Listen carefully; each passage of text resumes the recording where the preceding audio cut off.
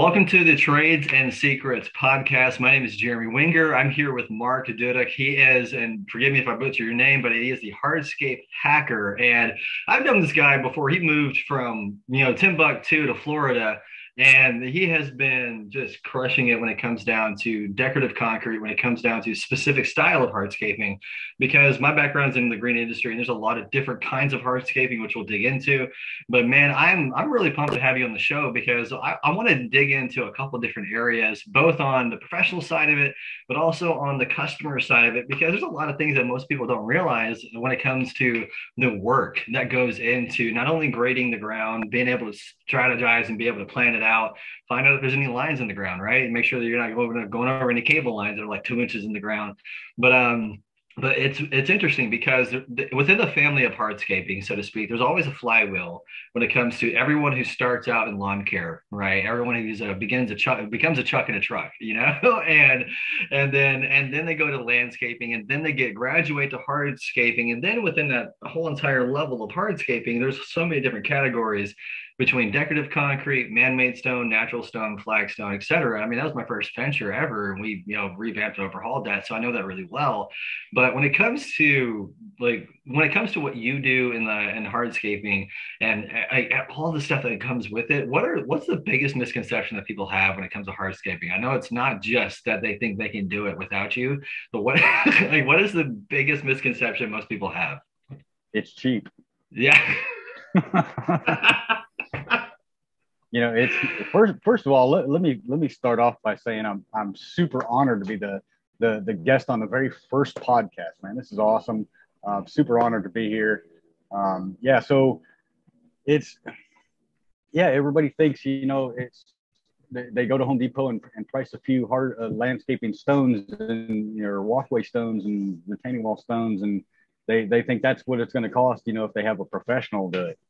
Well, it's it's like with any other trade, you know, it it's DIY versus hiring the pros. You can do it yourself for five hundred dollars. If you hire a pro, it's going to cost five grand because you're paying for the years of knowledge and skill. So you know, it, it I, I always get that. I always get the the uh, noted sticker shock whenever I send a, a quote, and, and uh, you know, so yeah, price is, is definitely the biggest the biggest misconception. Well, I think David too, like with like a lot of times because of that misconception, people aren't connecting the dots between increasing their equity, the equity in their home and the value of their home. And that was one of the biggest things right. that we encountered, especially like I mean, this is back 10 years ago. You know, it hasn't changed today. It's probably ramped up, amplified even more.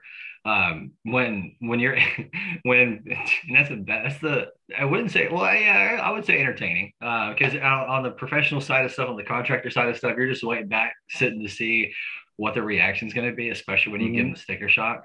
Have you ever given them the price up front, kind of saying ballparking, this is where it'll start at? Is that within your boundaries of your budget kind of thing? Have you ever done that or is it always like afterwards? I've done it on a couple of occasions, just trying to get a feel for what they're looking to spend and what their budget is. Because if you ask them, if you ask any potential client outright, you know, what, what's your budget? What do you, 99 times out of 100, they're going to say, oh, I don't know. Yeah. Exactly you might get the one that actually you know did their did their due diligence plan some stuff out right. talk to other people and actually say i have x amount of dollars set aside for this. You know one out of a hundred.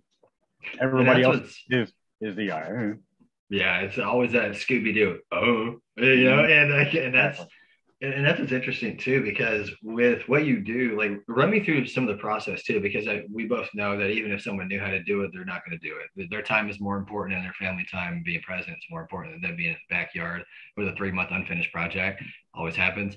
Um, you know, even if they do hire Uncle Uncle Charles to come do it, three months later they're calling you to fix it, right? And like it's always three months. You know, it takes that long for people to swallow their pride. It's really weird. It's always around that time frame. You know, and, and but with what you do in hardscaping, when it comes down to being able to, like, of course, lay the footer, everything in between, what makes what you do different than when it comes to like flagstone?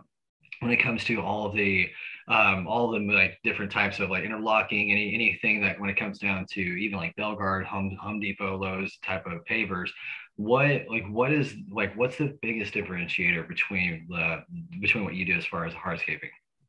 Um, well, time is the biggest uh, the biggest benefit that we have. Mm. Um, I'll give you a perfect example. You've worked with Belgard products before. If, if you're doing a hundred foot walkway, four foot wide with Belgard products, how long is it going to take you to do it? Oh yeah, much longer. Absolutely. Yeah, yeah. It's going to take you what at least a week, right. two weeks. We we can do. Yeah. Yeah. We yeah. we can do we can do a walkway just as long, just as wide, poured, stamped, and carved and ready to, or poured, stamped, and cut and ready to go in one day. Whoo, man, you talk about some turnaround. That, that's man, especially for you know being able to to have some massive production time too. Holy cow, that's right. the yeah, time is speed is the name of the game when it comes down to it. And when it comes to like the different types of combinations of what you can do, I mean, I've seen you make what retaining walls, different types of walkways, patios. I mean, my gosh, I think you made what a T Rex one time. No, I'm just kidding. But like, what, what are what is the craziest thing that a customer had you make? Um, we're we're actually in talks right now. Um, like I had mentioned before the interview, mm-hmm. there's a, a customer that has uh, some existing plastic arbors over a couple of different walkways. We're going to take those out, and I've explained the process to them, and they're absolutely in love with it.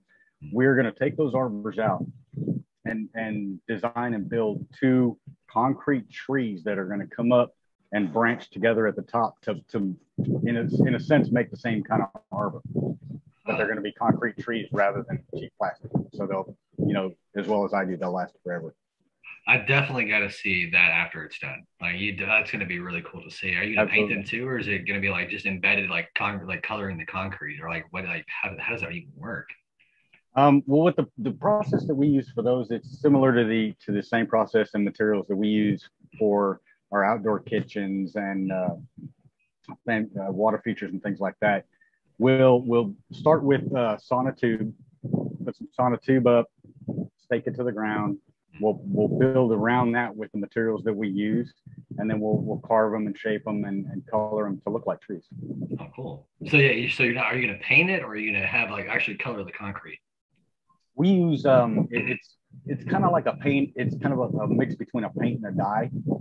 Okay. Um, it's more of a stain, but it's more of a mineral based stain. So it actually soaks into the concrete, and then once we seal it, it's it's there. Sealing part. That's the that was my next wonder because of the longevity of that because right. then after like you know that because that's the biggest thing. Any kind of pavers any kind of concrete anything that i mean heck even wood for goodness sake you got to seal it right, right absolutely. lock it in man because the heck that stuff yeah, that way it yeah, doesn't erode. con- concrete is no different. I know a, I know of a few people that uh, try to venture into to staining existing driveways and things like that and, and that they forget that crucial step of sealing it then they're back six months later to restain it so yeah, absolutely. Sealing is essential. Stain and seal, and I mean that's the, the and that's the thing that most people won't get if they hire somebody who can do it cheaper, right? They don't think through those things because a lot of times people right. can do it cheaper in survival mode, and they're mm-hmm. trying to just get the job done. Sometimes, I mean, right. heck, we've we've picked up projects in the past which we, you know, of course, made sure that with boundaries with the homeowner that they didn't take that junk and put it into with us, right? Like we ain't right. them kind of thing. Like don't don't make us out to be type of issue. And man, I, I gotta ask too, like, what's the craziest type of scenario that you've encountered when working with customers? Like, what's the wildest thing that you've that you've come across? Um, the wildest. I don't know. I, I really don't get too wild with a customer. Um, I've, I've I'm been, talking about them getting crazy with you. That's what I'm saying. Uh, what as far as like confrontations or whatnot? I mean, just anything, any kind of misunderstanding. Um, anything. What was the craziest thing? You were like, what? Well, our, our, our, last customer is is a prime example. Um, she she's a it's a, a, an older couple, not too old. They're a few years older than I am. Hmm. Um, and they the the wife is a serious no BS kind of woman she's a she's a nurse in a prison, so she you know she walks the walk and talks the talk. Um, she she doesn't put up with any BS. She doesn't hold anything back. Um, she's going to let you know exactly how she feels, which to me is fine because I would rather you tell me if there's something you don't like up front rather than you know write a nasty review on Google without telling me. Um, so yeah, she she's I've heard some things come out of her her mouth that uh, most women wouldn't say. Mm. Um, and, and, just some of her ideas, which actually helped us get to the to the point where we are with that project. Um, you know, I, have shared some of my ideas with her. She shared, shared some of the things that she would like to see with me, and, and it's it's helped us come up with an entirely um, groundbreaking plan for her outdoor entertaining space. Hmm. So yeah, she's had she's had some pretty crazy ideas. Um, and the the good thing about what we do is we can actually do it. You know that people who use or co- contractors that use natural stone or or pavers or things like that wouldn't be able to do what we have planned to do in the upcoming months in this yard. Well, that's a, the one thing to note is that a lot of times with what you do, most folks who are who do do natural stone, and I can speak from experience, that you're limited, 100% limited on what you can do and can create, and that's there's a lot of pros and cons to each one and it's pretty neat because no matter what texture no matter what feel people are going for you know it's it's really cool to be able to accommodate that especially like think outside of the box with them. It's really neat. And um and that's where even too like with working with customers with if you could go back and do things better like what would be something that you would immediately do in the beginning to create like to because we all have you know upon reflection upon hindsight because hindsight is 2020 right you know, if you right. if you could go back and do like three things better in your business, what would those three things be? Um, ask a lot more questions before I started my business. Mm-hmm. Um, you know, getting into the right groups, the the right uh, group of people, and and asking a ton more questions. Because when I first started, I knew nothing about business. I was always the worker, not the employer, um, in a sense. So you know, I, I knew zero about business. So I, I kind of, I followed the advice of a couple of people that said, just do it and figure it out along the way. Um, it, it, in one sense, it was kind of good because it, it, forced me to ask the, the, questions I needed to know the answers to, rather than just a bunch of "Why am I asking that kind of question?" kind of questions. So it, helped me to, to focus on what I needed to know, rather than what I wanted to know. Um, so definitely ask ask more of the right questions. Uh, listen to a lot broader scope of people rather than just a, select few. Um, and, and definitely work more towards getting the business out there rather than relying on the nine to five or the seven to 330 that I had at the time. Um, I knew I had that that kind of safety net, so I wasn't as aggressive as I as I could have been and should have been. Um, so yeah, definitely those things I would I would change going back. Yeah, those are good because like asking asking the right questions, you get better answers. You know, having the right relationships, you build social capital and the right strategic partners, right? Yeah, because that's that's the biggest thing like getting out there in the right groups, not only just not only like the online groups, but in the right groups of like the social circles, like really truly not the clicky groups, but the people that really truly want to work to better the their own backyard are the ones right. that I mean, heck, even too with our landscaping company, man. I mean, I'm telling you, like it literally is like, I mean, dude, we've been able to generate a massive pipeline, you know, without even having a website up and going just yet. You know, by the time people see this, it'll be up and going. But but like we've been able to generate massive pipeline, five figures within a month, you know, just from strategic partnerships and the right circles and being in those right groups. And um, man, that's, that's huge. That's that's absolutely huge because yeah, absolutely, especially when you're getting pushed out there, you have no choice but to ask those pertinent questions that only matter right. because you got other stuff. But when you're talking about your seven to three or nine to five, you know, you were you were doing electrical work, if I'm not mistaken. And so and that's one thing too that's really neat about you is that with the being able to create the walkways with the patios, outdoor lighting, you can i'm pretty sure you you include that into your projects too don't you that you can you can lay do you lay i, I, I can and, and i have for certain projects um mm-hmm. i, I kind of got away from it when we moved here mm-hmm. um, simply because it, it's an i'd have to go through the process of getting licensed here and you know yeah. i'm i'm working enough on on getting the business going that i really don't have the time or the really the desire to um to be able to include that service with what we do. I, I think with what we do, it's it's niche enough that you know it's really something I don't have to include. So, well, and that's something that I was about to hit on too is that simplicity. You know, how many people had do you know that are in the service industry in general? Doesn't matter what industry or niche they're in. Um, how many of them that you know that are trying to do everything? Oh, absolutely. Like, it's, absolutely. it's wild. Yeah. You know, and it's like the path to a million dollar business is not trying to do everything and serve everyone because then you're going to get diluted, overwhelmed. You got to cross train, you got to hire, you got to make sure that you have other people in place. If one person quits, you're screwed, right? Especially right. if you're piggybacking on somebody else's license. Right. Oh, it's not a refund that you want to encounter. Um, yeah, because that's that's a whew, man. Let's talk about the simplicity for a second. Like when it comes to the when it comes to offering more services than your core, you know, because you want to make sure you have your core, your, your people, your money makers, your profitable ones, your popular ones, and the ones you're doing is kind of like meh, you know, kind of services. You're like, those are cool when they come along, but other than that, you're like, no, thank you. You know, I mean, like, you know, but to the simplicity of your business with, with talking to the fact of licensing, uh, which is uh, absolutely important. What what kind of relief did you experience when you were when you when that thought crossed your mind when you started to really put it in place to saying, you know what, I'm not going to get my my other electrical license. I'm not going to try and do more stuff out of the scope. Like, what was that? What did that feel like? Oh, it, it it's really liberating. Mm. Um, knowing that that I was going to be doing X, Y, and Z rather than A through Z. Um, it, you know, it's a huge difference. It's a huge weight off my shoulders, and it really let me focus and dial into what I was doing. Yeah. And you know, it, it allowed me to produce a better product. Yeah. Overall.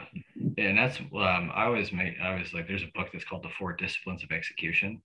Um, and I mean, that is a phenomenal book. If no one's ever listened or read that book, right, listen because I I listen to my books, but um, but that like it talks about the power of focus. You know, if you do three, if you do two or three things, you can hit all three of them. You know, you probably do two of them really well. One of them you probably lag on. You know, if you do more than that, you're probably only going to do one thing well. You know, and why not instead of going bass backwards, right? Uh, how we say here in the South, you know, instead of going bass backwards and putting the cart before the horse, start with something and then build on it, right. and then be able to expand from there. And and that's that's powerful. That's absolutely powerful. But man, no, I'm I'm pumped for what's what's to come, man. Like what with everything that's happening down in Florida. What part of Florida are you in again? Ocala. Ocala. Ocala. Okay, make sure I pronounce that right. Wakala. Yeah. Okay. Ocala. We're, we're cool. about an hour north of Orlando. Okay, cool. So within Ocala, Florida, like there's, I'm pretty sure there's plenty of business to go around. And you probably, you know, when it comes to hiring, when it comes to being able to, you know, even to train other people, sometimes you're like, man, I don't have time to train. I just need to go do, you know. And what is, what are you experiencing as far as like the hiring in that area right now? Is it pretty slim, slim picking, or is like, how is the training going with that area? Um, it's with everything going on right now, it's hard, uh, you know, like with everybody else, it's hard to find people that actually want to work. Um, uh, once, like I've got one guy now, he's a, uh, a former Marine, he's new to the area, uh, was referred to me by another local veteran. Uh, really wants to work, he wants to learn something new, got a taste of what we do. Um, he was he was having uh, I won't say difficulties or anything like that. He he just moved down here and a couple of weeks after he moved here which was a couple of days after he technically started with us uh, he had to drive from here back to arkansas to go pick up his son and come back. So he, he got a taste of what we do was super excited about it. And then right when the, the first project he would have been on was getting ready to start he had to leave. So he was he was planning originally to be gone a couple of days and ended up getting sick while he was up there, him and his son both. So he was stuck up there for almost two weeks. Mm. Um, so he missed the entire project, but they, they, both came out fine. They're they're both uh, feeling very well, and finally made it back down here. And then I I had to go. I had a couple things I had to pick up from the job site that I had left there. So I, I went back to go pick him up and I told him to meet me there so that he could see the finished product. Mm. he got there and he was just, he was amazed. And he's so super excited to learn on the next one. And the benefits of what we do is I, I can go back and, well, not go back and forth. I can, I can keep in constant contact with our, with our clients and I informed our next one that we're gonna. It, it, the project itself is, is just a few short retaining walls to to uh, prevent erosion. Um, customers have or clients have a, a fairly new house. It was built kind of up on. They had to build up so that they could build this house. So all four sides slope down. So they got like flower beds and things like that. Every time it rains, it just washes most of the sand away from it. So we're going in to put some walls, some short walls in to, uh, to help with that. And I've talked to the to the client and told him that I've got a new guy and possibly one more coming. Um, so we're gonna we're gonna do things a little non-traditional with this one. We're gonna we're gonna take our time, but not you know we'll still get it done before anybody else would be able to finish it. Um, but this way, I, you know, we can slow down and I can actually explain what I'm doing. I can take that time to train somebody. Whereas, you know, normally with most companies, they're exactly like you said, I, I don't have time to train. I just got to get it done. Uh, customers screaming at me. We're already so many weeks behind because of weather and this and that. So, you know, this this next client is being super understanding with us. Um, she trusts us 100%. She she's you know I've, I've spent some time talking with her several times, and she, she's like, absolutely do what you got to do. As long as the finished product is, is what it's supposed to be and, and what it's supposed to do, I'm good. Yeah. I was like, amen. So yeah, absolutely. This, this next one, we're, we're going to take our time, go slow. Um, that way I can, I can train both the two new guys as well as my wife who's working with me. Um, cause she, she didn't actually uh, go through the training process that I went through. So I'm trying to teach her at the same time because she's helping me to run the company. So she has to know what we're doing. Um, and she's 100%, you know, behind us, raring to go, wants to learn every aspect of what we do, which is super awesome. So great. yeah, I'll, I'll be able to slow down and actually train my guys and and my wife on this next one. So it'll be a it's a great opportunity. That's fantastic, and that's that's where most folks want to be at is to be able to slow down and train because that's one of the biggest issues of hiring and onboarding employees. You know, right. it's not just trying to get a job. You know, great, you get a job, but then what? right? Right. You know, and that's the biggest that's the biggest hangup for a lot of folks, and really truly trying to trying to maintain that balance. You know, you got to maintain employees, you got to maintain jobs to feed the employees, but then even at the end of the day, even though the leader is the first one that shows up, he's the last one that gets paid, right? right. You know, and that's the whew, man, that's the that's a huge challenge. But um, but I mean that's something that um that that right there your integrity your your passion for what you do makes you stand out more than i mean more than anybody because when it comes down to you, like, in this industry period people like it's it's wild how integrity makes you shine it's sad at the same time it really is and you know if, if people were to just keep their word and do their job then ta-da their business would grow right and, I mean, how many? I, I will end with this, but how many jobs have you come in to help fix? I'm just curious. Oh my goodness, um, quite a few. You know, actually, a like half of, of, them, or like what would you say? Uh, about a third. About a third, okay. Yeah, I actually had one that that I quoted originally, and and they went with they decided to go with somebody else. You know, of course, because they were cheaper. Right. And it was a retaining wall, and their retaining wall started failing after about six months and and then they called me and normally I, I felt bad because it was an older couple um, normally I, I, would i would charge the what i call a 30% stupid tax um, you know because they, they wanted to go with the cheaper option in the beginning and now i got to go fix it yeah you know but i felt bad for them because I, I know they're you know they we wouldn't call it stupid tax we just call it a Holloway fee eh. so yeah, you know, they I, I knew they were on a limited income, so you know, I, I took it easy on them and, and I went in and fixed it, and they were super happy with the results. And uh, really, it wasn't a whole lot of work for me. So. Well, that's good to hear, man. And that's one of the that's one of the funnest things and most fascinating things about the industry is that just being able to to know your numbers. Like if you don't know your numbers, then you can't help and you can't negotiate and you can't, you know, can't find leeway or find ways to cut cost or it, while remaining, you know, having the instructional integrity, keeping your moral integrity, being able to, to find that balance, I think is one of the biggest challenges that most business owners have because they don't know their numbers you know and that's that allows that allows you to be able to step in there be of help be of aid but even in other ways even to like introducing stuff like financing or lines of credit for folks to even break it down even further you know are just very powerful ways man Well, man, I'm, I'm, I'm, I appreciate you being able to come on the show. I really do. Like, there's a lot of stuff that I know you bring to the table, and we didn't cover everything even throughout this episode. But with everything and, and how what you bring to the table, how can people get in touch with you? Um, several ways. Of course, I got my website. Um, that's uh, www.csdhardscapes.com. Um, on Facebook, I've got uh, both my business page for CSD Hardscapes um, my personal page. I've also got my public figure page, which is the Hardscape Hacker.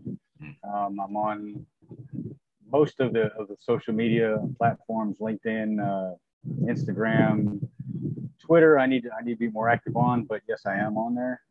Um, still debating whether or not to get on TikTok. Still still kind of iffy, but you know, we'll, we'll, yeah, we'll, we'll uh, I've, I've seen a couple of people actually doing well with it, so you know we might give it a go. So. Well, awesome, man. And everyone, if, well, as you're listening and watching this episode, his information is going to be in the description of this episode. So if you've missed what he was saying, you'll be able to click on that and get in touch with him. And especially if you're in the Ocala area, uh, get a hold of Mark Dudek, the Hardscape hacker, to take care of your project. Because at the end of the day, you need somebody who's going to show up and also finish the job because at the end, I mean, honestly, time is of the essence and speed is the name of the game. And man, I appreciate you coming on here onto the show, Trades and Secrets, man. And I wish you well in your business and I pray the most success for you as possible. I appreciate it, man. Again, I'm honored to be the, the first guest. So, uh, yeah. yeah, blown away. Well, awesome, man. I appreciate you coming on.